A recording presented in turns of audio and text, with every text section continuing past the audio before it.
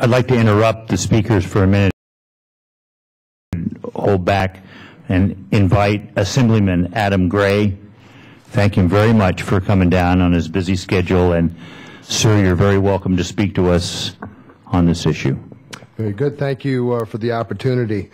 Uh, my comments relate to the Commission's consideration uh, of a statewide ban on bobcat trapping.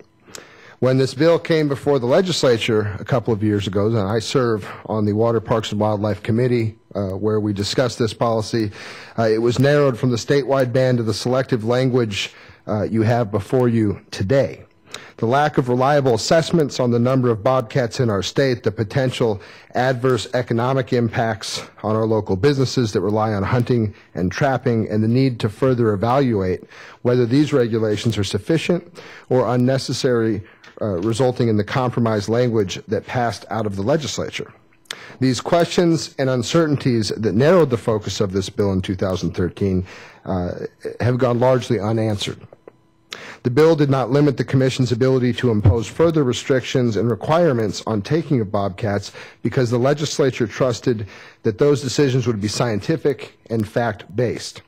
If a statewide ban goes through barely two years later, this Commission would be demonstrating quite the opposite. Many of us uh, criticize those that deny climate change because they don't have the facts and the science to back up those positions. And I would suggest that uh, a ban in this case would be no different. So I would respectfully uh, ask the, the uh, uh, Commission to consider those comments in uh, moving forward with the decision today. Thank you, Assemblyman, very much. But just to clarify, it's our read and our legal counsel's view, the bill does allow us, if we choose to, completely have a ban, correct? Th that, is it correct that that's your view? No, that's the reading of the bill.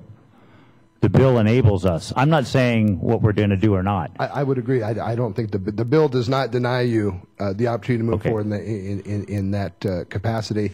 I would suggest the legislative intent and the discussions we had in the committee uh, would be different uh, from that outcome, but certainly that's within uh, your authority by my read as well. Good. Thank you, sir. Absolutely. Thank you.